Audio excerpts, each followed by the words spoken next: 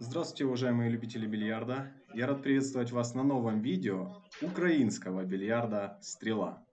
И сегодня мы с вами будем наблюдать встречу 1-8 финала первого турнира по бильярду «Стрела» между Богданом Рыбалко и Богданом Шугалеем. А комментировать этот матч буду я, автор бильярда «Стрела» Виктор Барабан. И вместе со мной его комментировать будет известный украинский бильярдист, комментатор и бильярдный энтузиаст – Сергей Петрош. Приветствую, Сергей. Да, всем добрый день. Добрый день, Виктор. Э, вот у нас сегодня такое событие интересное для меня. Это впервые, что я буду комментировать эту игру. Э, один раз у меня получилось ее сыграть, э, но комментировать впервые. Да, ну, будем пробовать. Я тоже... У тебя больше опыта комментирования, а у меня больше опыта игры в эту игру. Поэтому думаю, что что-то интересное может из этого получиться. Да, в любом случае обсудим какие-то моменты. У меня, ну так, уже после первого опыта есть какие-то вопросы, и так хочется интересно про- пронаблюдать э, э, само развитие тактики, потому что я уверен, что, э, ну, что Богдан Э, что Богдан номер два Шугалей, э, они будут тоже учиться и по ходу игры, наверное, будут пробовать какие-то элементы для себя, создавать давление. Ну вот сразу забитый шар. Так, да, вот уже, начало. Да, вот уже один элемент демонстрирует э, Богдан Рыбалка. Забивает с разбоя. Вот посмотрим на повторе с другой камеры. Прекрасно выполняет разбой Богдан Рыбалка, результативно и начинает свою серию. Играть он может да, с двух домов. Да. Да, э, мы по ходу, я так понимаю, будем и правила объяснять, и я для себя точно так же. Да, я уже знаю, запомнил, что каждый чужой два очка, каждый свой одно очко, и выход, э, не выход, вернее, со снукера, одно очко. Да. Ну вот вы видите, Богдан Рыбалка э, не совсем запомнил правила, пытается играть зеленый шар, который неочередный сейчас позиции в среднюю лузу. И вот он понимает, что все-таки надо играть кра- красный или желтый, и меняет свое решение. Ну, я тут я сейчас даже, еще... Даже, мне кажется, даже ему подсказали. Да, да, да, да. Э, ну, я немножко расскажу вообще, как происходил этот турнир. Этот турнир происходил в рамках э, основного турнира, открытия нового бильярдного клуба «Триумф». И игроки во второй день турнира могли попробовать, вот продолжает свою серию Богдан Рыбалка, могли попробовать новую игру, поучаствовать в этом турнире. И за первое место на этом турнире игроки получали приз кий от компании АС, за что мы благодарим компанию АС. Так вот, э, это был второй день основного турнира. Игроки уже были немного утомлены двумя днями соревнований, и, видимо, как бы тяжело им было сразу разобраться с новой игрой, поэтому э, могут быть в начале некоторые такие неточности в действиях игроков. Ну, думаю, со временем уровень игры и их понимание игры будет возрастать. В любом случае, стрела находится в самом начале пути, и еще предстоит ей большая дорога длинная, вот поэтому мы посмотрим э, ну, за первыми шагами ее, и тем они интереснее, потому что сейчас как бы все с чистого листа, тактика абсолютно новая э, в нашем бильярде, в принципе, нет элемента постановки снукера и нет элемента, когда мы играем отдельные шары, для используем отдельные шары для отыгрыша. В любой игре нашей у нас, даже играя одним шаром или всеми шарами, у нас все шары получаются в доступе для отыгрыша. А здесь у нас э, сама система отыгрыша, она новая и она ограниченная вот именно как раз этими двумя шарами, в данном случае красным и желтым. Да, и вот посмотрите как раз какой удар шикарный делает Богдан Рыбалка. Э, приклеивает биток к коричневому шару, ограничивает попадание в красный шар – а желтый шар прячет за синий шар, и это снукер. Пытается да, я выйти. думаю, что здесь, здесь, да, здесь оптимальная э, Богдан рыбалка, надо уточнять. сыграл, поставил снукер, ну и Шугалею повезло все-таки. Я не, не думаю, что он планировал настолько длинно. Хотя, в принципе, я скажу, что вот э, вообще, в принципе, об этом можно было подумать, что будет, если он не попадет в красный. Ну, я, ну, у нас да, нет да. такого навыка, то есть мы не играем настолько длинные ну, отыгрыши. А там, по-моему, Богдан Шугалей сам удивился, что он попал в желтый шар, поэтому это такая счастливая случайность. Ну да, ну, даже Богдан стоит, э, тоже смеется от того, как все получилось для него. Ну, тоже такая интересная, мне кажется, зрелищный элемент для зрителей, который может как бы понравиться зрителям. Вот такие вот э, новые интересные события, которые в, пирамида, в пирамиду не происходит. Угу. Ну и, если предположить, э, вот у тебя уже больше опыта, э, все-таки э, как э, выигрывается партия? Каким образом строится стратегия, тактика? Вот что нужно сделать? Ну, кроме, ну, поставить снукер. Вот сейчас я, кстати, э, у меня есть еще очень э, хороший опыт игры в снукер. Все-таки mm-hmm. здесь есть некая схожесть.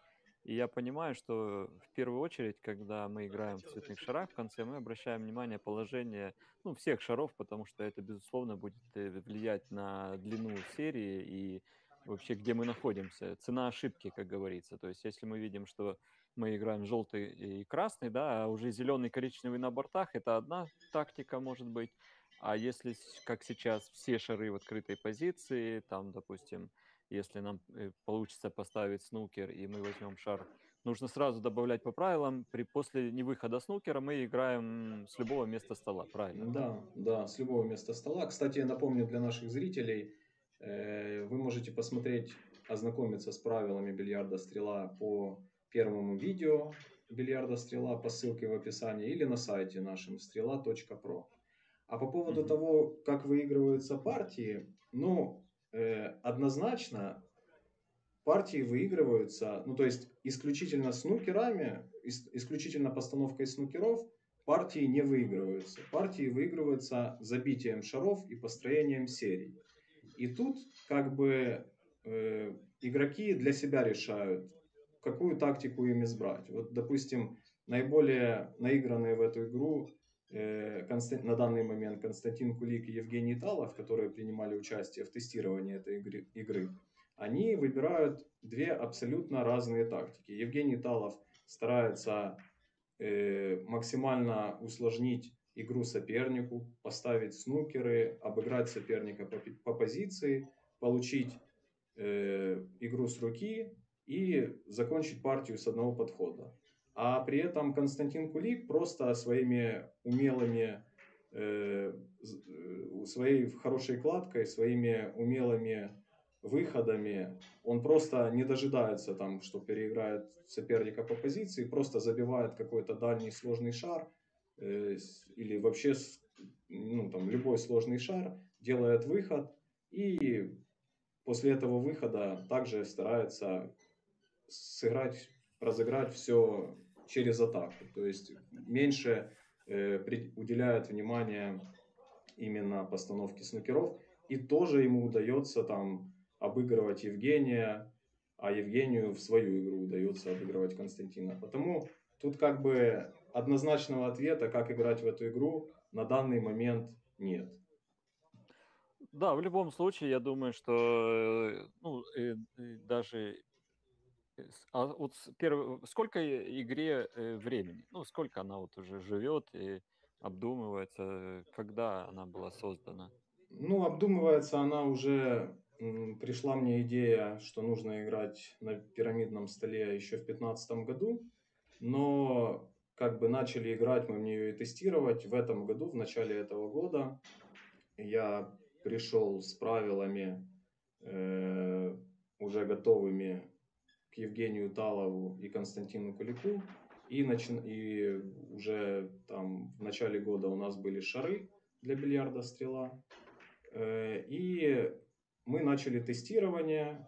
С начала этого года мы активно играем очень много в эту игру, изучаем, тестируем, изучаем разные позиции и вместе с Евгением Таловым и Константином Куликом дорабатываем правила. И вот у нас уже на данный момент родились правила, по которым мы планируем играть какое-то время, допустим, год, набирать статистику, что нравится игрокам, что нравится зрителям, что не нравится игрокам и зрителям. И уже там через какое-то время, когда наберем какую-то определенную статистику, будем, возможно, вносить какие-то изменения в правила. Но пока что мы считаем вот эти вот правила, которые сейчас есть сейчас существуют, э, как бы дееспособными, и по ним мы будем проводить э, бильярдные соревнования, турниры, и именно в этом виде мы будем развивать этот бильярд на данный момент. Да, да, ну вот первое интересное, допустим, э, в любом случае, сейчас смотрю э, ну, матч, да, он там немножко хаотично развивается, игроки пока не не адаптированы, скажем, да, даже я так понимаю. Ну, во-первых, и шары, нужно сказать, 67 миллиметров они играют, а этот э, турнир проходит еще в формате турнира, где играются 68 миллиметров, да, я так понимаю, в комбинированной. Ну да, и... да, да, да, играли по комбинированной пирамиде и вот перешли на 60 да, да, ну и вообще, я, я вообще сейчас скажу, мы в такой фазе находимся, когда мы играем э, двумя шарами, которые кардинально отличаются друг от друга по весу, и игрокам приходится, ну, скажем, я пока что не видел игроков, которые играют двумя киями, там, ну, разными. Mm-hmm. То есть мы играем одним и тем же кием на раз, раз, разных шарах. И это не, безусловно сказывается. То есть у нас инструменты не адаптированы под 67 миллиметров, это еще предстоит. Но и по сути, наверное, я скажу, что э, большинство турниров мы пока играем шарами 68 миллиметров. То есть еще нет такой перспективы э, на 67 миллиметров. Скорее всего, я понимаю, что э, я могу сказать точно, что мы в любом случае уйдем от 68 миллиметров куда-то. Не факт, что именно в эти 67, может быть, они будут. Кстати, э, Виктор, я знаю, ты мне говорил, для зрителей скажем, что здесь 67 миллиметров не такие, как играет Федерация, да? Да, да, здесь э, шары 67 э, миллиметров Арамид Премьер весом 266 грамм. Это нечто среднее между 68 шарами весом 280 грамм и теми 67 шарами, которыми играет Федерация. Э, Это, скажем, кстати, какое-то чудо. Я не пробовал эти шары еще, но мне очень интересно попробовать, потому что я считаю, э, вот эти 67 миллиметров, которые Федерация проводит турниры, они сама идея уменьшить шар и уменьшить вес очень отличная, но материал, который используется, я скажу от себя, что там другой, другой шар, другой материал, плотность просто, они более легкие по материалу. Да. Мне, мне не нравится. И я всегда высказывался, что нам нужны 67 миллиметров шары, даже 66 может миллиметров, а может быть и 65 в итоге. Мы остановимся, ну, наверное, я скажу точно не меньше 65, но в плотности э, материала э, в такой, в которой мы вот сейчас играем 68 миллиметров. А это как раз, если их обточить, это вот где-то 268, там как раз уходит где-то там 10-12 грамм, то есть это по сути очень близкий материал э, к тому, к которому мы привыкли по плотности. Да. А как тебе? Э, ты пробовал вообще 68 миллиметров вот эти ну, официальные шары и по сравнению с этими? И почему, кстати, откуда идея э, именно в этом материале? 67 э, миллиметров ты имеешь... 67 миллиметров, да, ты имеешь в виду? Да, да, я... вот в Федерации ну, играет я, 67 я пробовал... и там 256 вес, по-моему. Да, но я пробовал, мне они кажутся пустоваты. Именно поэтому Мне тоже, я абсолютно. Да. да, именно поэтому я с радостью согласился на вот это вот предложение от компании Ранит. Именно такой вес и э, именно такой вес шаров. Тут же все зависит от э, смолы, из которой изготовлены шары. Вот. О, Мне это интересно, он... кстати. Извини, да. что э, так, ну, немножко ремарка такая. То есть э, Э, компания, э, ну, Салюк, да, бельгийская, она тебе сама предложила этот материал, а не, это не твоя инициатива, да? Э, ну, я им сказал, что я как бы им сообщил, что мне нужен размер 67 миллиметров. Да. И они мне предложили вот такие шары. Э, ну, э, это очень интересная мысль, потому что мне вопрос, почему они нам не предложили федерации эти шары, потому что, ну, они реально лучше. И я сейчас, знаешь, получается как бы э, так белая зависть у меня, почему мы на, почему мы в федерации играем худшими шарами, когда вот просто тебе для развития стрелы они предложили лучшие шары. И я надеюсь, может быть, федерация или, ну, вообще кто-нибудь услышит, и нам тоже дадут такие хорошие. А, я сейчас, кстати, ну, я сейчас, кстати, вспоминаю, да, да, да. что э, мы с ними обсуждали вес, и я, математи... я по формуле посчитал, э, какой будет вес у шара Арамид Премьер, и сказал, что мне этот вес подходит. И они, сказ... mm-hmm. ну, и они со своей стороны сказали, да, вот э, этот вес у вас и будет, и будут шары. Поэтому... Да, да, да. Ну, да. Да, очень интересная история, потому что я думаю, что все игроки, которые занимаются ну, данным видом бильярда, хотели бы иметь вот такие шары, но почему-то мы играем другими шарами. Хотя возможности... Ну кстати, этот вопрос мы можем поднимать и вообще ну, и в какие-то вносить даже в будущее изменения. Кстати, очень будет интересно и протестировать эти шары. Я действительно предполагаю, что они намного качественнее те, то, чем мы играем. Ну хорошо, давай к игре, наверное, да? Э, да, э, давай вернемся к игре. Тут уже у нас у нас очень много тем, да, и шары, и игра, тут все сразу. Ну, по игре сразу первое от себя хочу сказать. Э, уже я понимаю э, ситуацию э, тактическую. То есть нужно всегда смотреть, э, то есть мы играем желтый, красный и всегда смотреть э, зеленый, ну, третий шар. Получается, в снукере мы тактику э, контролируем тем, что, вот, допустим, если мы играем желтый шар, да, я, например, смотрю Э, где, где находится зеленый шар. Ну, потому да. что через него продолжение будет. И коричневый, соответственно. Там, ну, уже расцениваю, насколько э, мне там рисковать какой-то шар бить. То есть зачем мне рисковать одиночный шар, если я, например, э, после забития желтого, ну, в снукере, не смогу продолжать, да? То есть я начинаю уходить где-то в снукера и тактически там, либо если я отстаю в счете, поднимать этот зеленый шар. Ну, там уже разные тактические рисунки. Тут же я понимаю, у нас играется два шара, и получается, мне нужно вот не второй, а третий шар уже смотреть, где находится зеленый. Но тут интересный нюанс э, возникает. Э, при забитии желтого шара у меня mm-hmm. красный-зеленый, да, я играю. Да. Но если красный в игре и забивается красный, то сразу же коричневый открывается. То есть получается замороженный зеленый, он вообще в принципе может быть заморожен, заморожен до, до конца, конца игры. Да, да, да, и мы можем разыграть все шары. То есть, по сути, мне нужно э, 2 плюс 2 уже даже смотреть. То есть и коричневый, и зеленый, где находятся. И коричневый мы видим на игре, он как бы дает продолжение. Красный вообще сейчас активно, желтый. Ну и тут пока идет отыгрыши.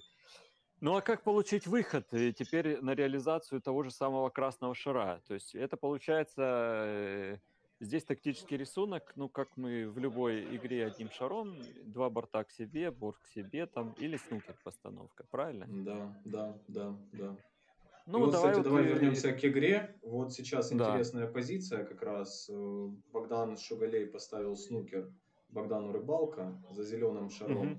Да, да, да, как раз. И желтые, и красные шары. И вот Богдан Рыбалка пытается обводящим ударом выйти из этого снукера не удается. Да, вот как раз, да, вот как раз один из методов, который мы обсуждали, снукер либо ну скат, скатка своего по отыгрышу, ну то есть э, самим снукером э, Богдан заработал себе вот выход на этот красный.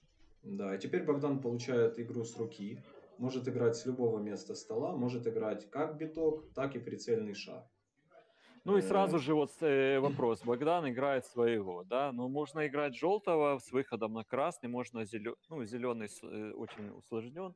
Он играет да. своего, берет одно ну, зеленый играть и... было нельзя, зеленый играть было нельзя, можно было играть красный и желтый. Вот он забивает э, биток от красного шара с выходом, подводит э, к лузе красный шар, имеет ну, продолжение. Ну, сразу по мне скажу, какое-то, допустим, наверное, не очень выгодное продолжение вот такого формата. Потому что даже, ну вот он сейчас, да, он сделал выход красный, Но э, после игры через весь стол, э, даже почти подставки, мы понимаем, что у нас очень сложное продолжение выхода. Ну, вот Нет, удается Богдану, да, удается все-таки Богдану продолжить. И сейчас серию. он имеет зеленый, да, играть, получается? Да, он может сразу. и зеленый, и желтый тоже находится за домом, может продолжить mm-hmm. через зеленый или через желтый э, игру Богдан Шугалей. И, кстати, после забитого битка он может один раз из двух домов сыграть еще раз биток. После этого он будет обязан, если он хочет продолжить mm-hmm. серию, он будет обязан играть только прицельный шар. Для того, чтобы но, не было бесконечных да, так... скаток. Ага. Ну и вот так на вскидку, что нужно сделать Богдану сейчас, чтобы выиграть? Э, забить э, три шара ему достаточно будет? Сейчас 7 счет 6, 13-2. Не, ну тут еще полно игры на столе. У нас сейчас вот он забивает э, желтый шар. У него серия сейчас э, 6, если я не ошибаюсь. И э, на столе у нас отставание 7 очков, а, ошибается Богдан. Угу. На столе у нас 6 очков, э, на столе у нас, ой, точнее, я прошу прощения, и в, разница у нас 7 очков, а на столе у нас 5 прицельных шаров, то есть на столе у нас 12 очков, по 2 очка угу. за каждый прицельный шар, плюс 2 потенциальных очка, которые можно наби- э, набирать забиванием битка, сыгрыванием свояка или карамболями. Э, но поэтому как бы тут еще полно игры, 12 очков в розыгрыше. Э, ну так на вскидку два чужих надо, наверное, э, ну не, буду, не будем сейчас считать, это особо еще пока рано для того, чтобы понимать, ну, потенциально мы должны, вот э, при рисунке, я даже на месте Богдана, вот я забил своего, и, э, ну, э, хоч, хочется понимать, сколько мне шаров до окончания партии нужно забить, чтобы... Ну, два чужих. Оконч... Ну, два чужих. Два чужих, вот здесь. Два чужих, да, два да. чужих. То есть тогда на столе Богдану пойдет 4 очка, 13-2 будет, а на столе будет 6, и, и плюс мы условно берем 2 очка, добавляем, 8, да? Да, да, да. Да, то есть 8 плюс 2 – 10, а у Богдана будет 12. Ну, то есть 2 да. очка не хватает. Вот эти два условных очка, которые добавляются, это уже как правило, и, или это просто условности, или все, оно просто берется как э, за константу, что э, считаются шары чужие по 2 очка и добавляется плюс еще 2, ну как бы условно я понимаю, это там карамболями и своими можно набрать. Да, да э, значит, берем мы сейчас это, это сейчас правило, по этим правилам мы будем играть какое-то время. Э, Но это сейчас правило. Почему мы взяли два очка? Не три, не одно и тому подобное. Для того, чтобы, если брать больше двух очков, вот э, на текущий момент наигрыш позволяет сделать такой вывод, что если взять больше, трех оч... больше двух очков, то как бы очень сильно затягивается игра. Игроки, uh-huh. от, отстающие очень сильно в счете, все равно пытаются, как любители, знаешь, в снукере, когда да, проигрывают, да, да. они все равно пытаются там, они проигрывают э, очень много очков, э, профессионалы в снукере уже сдаются, а они все равно пытаются ставить там какие-то да, снукера. Да. И, и очень сильно затягивается игра, перестает быть зрелищной. А 2 очка mm-hmm. это именно то такое оптимальное количество вот этих потенциальных очков, которые позволяют и сделать игру более острой, и чтобы игроки не позволяли сопернику очень сильно отставать в счете, что игроки постоянно находятся в тонусе, не позволяют уйти далеко в счете сопернику, потому что они понимают, что проиграют партию. И вот, кстати, угу очень хороший биток в среднюю лузу от коричневого шара забивает Богдан Рыбалка. Выходит коричневый шар на игру в среднюю лузу. Да, в идеальную позицию, наверное, для вот розыгрыша того, что здесь. Но вот здесь опять та же самая тактика. То есть Богдан э, либо возвращает коричневый назад в середину, либо его в угол э, ставит. Ну и мне кажется, что, допустим, в угол э, поставить как бы прагматично, прагматичнее легче, но в середину перспективнее сделать выход. Он имеет да. второй раз сейчас сыграть своего. Это, кстати, Нет, он уже, момент, вот сейчас он уже не может. Он сыграл а, все, не может. Биток. То есть с руки да. один раз, да? Он, да, один да, раз с руки. А, ну, Да, все Теперь правильно. Я э, посчитал просто два свояка, да, один да. же с игры, один с руки, да. И Теперь вот как вы видите, да, и вот как мы видим, чужого Богдана нет, но может дуплета будет играть. Не, ну тут хорошая зона для снукера, вот, и, кстати, Да, Богдан вот так и делает. И в снукере, в принципе, вот, и потому что э, красный, ой, синий, розовый, черный такую зону создают широкую для лё- да. простой постановки снукера. И вот видим, с другой Ну и камеры сну- снукер удается Богдану поставить. снукер, э, я так понимаю, э, по правилу снукера, если не виден шар целиком, да, даже Да, если да, часть, да. Если часть то шара есть, видна, то это да, не снукер.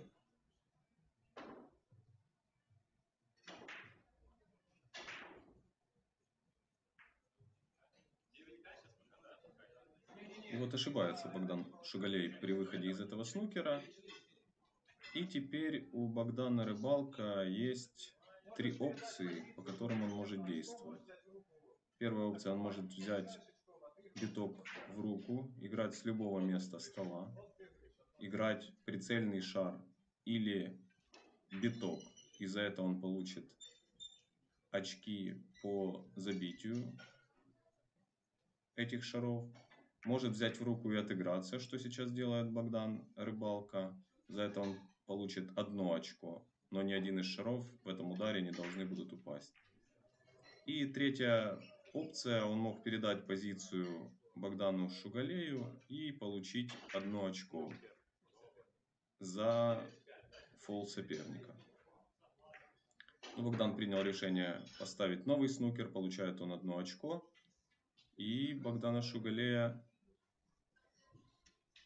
новые сложности, но отлично он с ними справляется. И даже практически забивает зеленый шар в угловую лузу.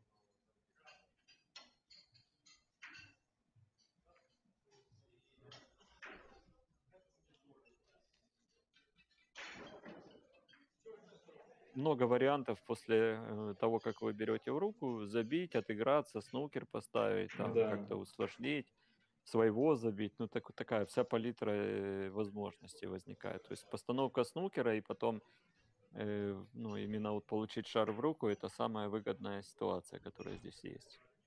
Да. Так, ну здесь самое важное, кстати, есть такой момент, вот я э, на, в аналогии снукера, там снукер, когда статус снукера включается, там просто дополнительные правила сразу э, ну, возникают. Это, например, э, если, если это снукер, да, и человек мажет, допустим, по играемому шару, то он даже, ну, там, три раза мажет, ничего страшного. А вот если не снукер, и он мажет, тогда э, там одно правило. И, кстати, если снукер, да, и он мажет, э, э, там же, ну, в снукере возвращается позиция, а здесь э, возврата нет, э, здесь э, наказание за невыход, это мы берем свой и играем с любой точки стола. Да, но здесь в ситуации снукера у нас э, есть отдельные правила для э, отыгрыша. То есть в ситуации снукера после соударения битка и очередного шара должен быть один борт или перекат средины. Во всех других случаях должно быть по аналогии с пирамидой два борта или э, борт-перекат. Мгм.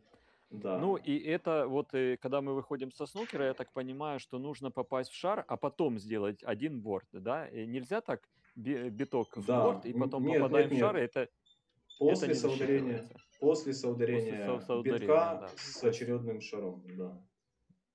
Ну и почему мы, мы рассматривали возможность, э, а вот хороший прицельный шар забивает Богдан Шагалей, набирает 2 очка, и есть возможность поставить снукер за черный. Э, Мы рассматривали возможность поставить э, восстановления позиции по аналогии со снукером, но пришли к выводу, что это очень сложно технически реализовать в простой как бы любительской игре и вообще в простой игре. Это начнутся споры э, о правильном восстановлении позиции, люди начнут говорить, что там какие-то шары занимали совсем другую позицию и может до- доходить до каких-то ссор. Поэтому решили да, да, да, да. сделать, да, поэтому решили э, как бы поощрять хороший ну точнее не поощрять хорошие, а поощрять э, человека, который м, вынудил соперника сделать фол тем, что он просто получает игру с руки. Что... А вот еще сразу, Виктор, пока э, не ушли мы далеко. А вот если я попадаю э, в играемый шар, со снукера выхожу, да? Да. Но не делаю вот этот борт. Это у меня мне засчитывается как типа я отыгрыш не сделал, или я как со снукера не вышел? Не, Потому это что, просто ну, это ж- фол. Это просто фол. А. Тут нету не вышел И- со снукера или, или вышел со снукера. Вот э, после соударения ни один из шаров не сделал борт. Это фол. Это такой же фол, как если бы там, допустим, ты киксанул и не попал Хорошо, но когда я делаю фол, э, допустим, ну не делаю два борта, да, например, отыгрыш, э, биток Мгм. тоже берется в любую э, точку стола? Да, да, да. Фол А, везде при, в любо- стреле. а, при, при люб- любом, ф- э, любой фол, фоле, это, да, это не да. наказание очками, а наказание именно здесь, именно, в общем, все, здесь фол, это биток берется в руку. Да, да, абсолютно правильно. Все, да, я понял.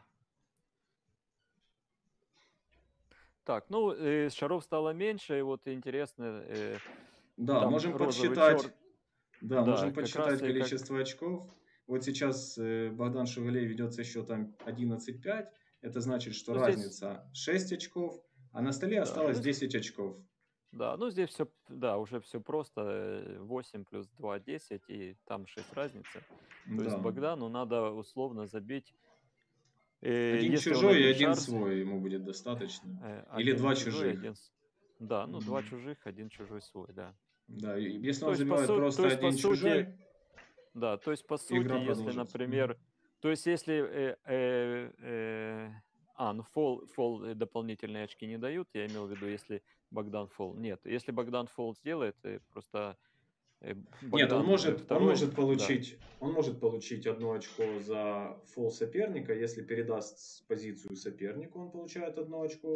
Или если он берет шар в руку, ставит его в любое место стола и заказывает отыгрыш, тогда он тоже получает одно очко э, за фол соперника. Если он э, хочет начать серию, атаковать, то он очков Мгм. за фол соперника не получает, но получает право играть, с ру- ну, но может играть с руки биток или прицельный шар с любого места стола. Мгм. Правила такие. Э, Понял. То есть э, здесь как бы э, есть вариации. Э, Я, кстати, вот этот момент вообще немножко упустил. То, что если человек делает фол, он может либо забить себе очки, либо получить, ну, как бы при отыгрыше сразу одно очко за фол, да? То есть... э, Да, да, да. мгм.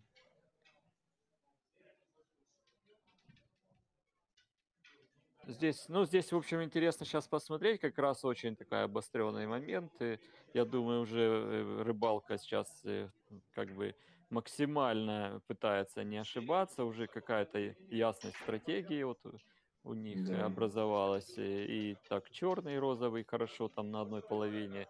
Хорошо ограничивает попадание. да, закрывают, зон, закрывают Да. зону. Ну и вот сейчас как раз первая такая реальная сложность для э, Шугалея.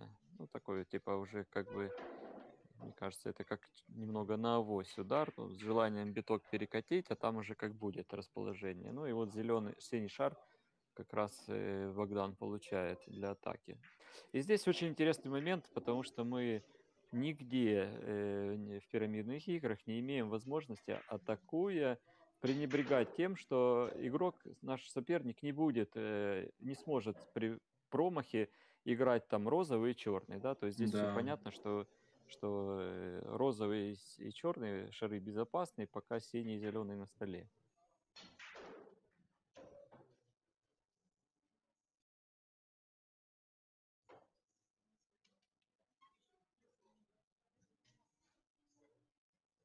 Да, и вот забивает синий шар э, Богдан Рыбалка, но, к сожалению, продолжить серию ему не удалось. Не смог он забить розовый, э, биток от розового шара в угловую лузу. И уже Богдан Шугалей может попробовать забить какой-нибудь шар. Ну, легче зеленый, может быть, по отыгрышу. А так, в общем, могу сказать, пока не вижу я какого-то превосходства, но так игроки пытаются там снукерить это, но э, Э, вот э, по рисунку не могу сказать, что кто-то кого-то переигрывает. Да, Шугалей ведет 11-7, но по сути игра равная. Вот, да, действительно, зеленый просто даже не по отыгрышу, а на хорошем сильном ударе. Ну, с такой Да. какой-то долей понятного э, движения белого на другую сторону. Но, тем не менее, кон- контроль зеленого при промахе абсолютно здесь не учитывался. Да. И теперь у нас интересная позиция по счету. Ситуация по счету сложилась на столе. Вот э, 13-7 ведет Богдан Шугалей, э, ведет в счете в 6 очков. И на столе у нас сейчас 6 очков. А это значит, что Богдану Рыбалка надо где-то набрать два потенциальных очка, которые он может набрать фалами, то есть снукера- снукерами, или э, забитием битка. Вот сейчас теперь в поисках вот этих двух потенциальных очков Богдан Рыбалка будет пробовать вести свою игру. Для меня вообще это любимая стадия. Я не раз говорю, что шаров становится минимально, кон- а контроля становится максимально. И вот здесь как раз уже какие-то случайности, там, э, непредсказуемость ударения не воз- возможно осуществить. И поэтому все под контролем происходит. Ну и как раз можно увидеть мастерство полностью игроков. Ну вот Богдан катит э, розовую подлузу, уже понимая, что э, э, Шугале, э, рыбалка своего играть невозможно. Ну, ну да, Ну, не как, мог он играть в чужого. снукере. Да, да, да, не Да, мог он как, играть чужого. и в снукере. Да, и такой интересный элемент, как и в снукере, да. Вынуждал Богдана Рыбалка забивать чужого шара. Но получился, кстати, наверное, не снукер, но неплохо ограничивает позицию попадания в розовый шар, черный шар. И Богдан Шугалей может ошибиться в этой позиции. Конечно же, вот в снукере там полностью есть безопасность в том плане, что в снукере нет игры своего. И здесь Да. Э, даже если Шугалей катит розового клузи, ну какая-то некая опасность. Вот мы видели, что Абриколь мог упасть, э, да, стань шар немножко по-другому.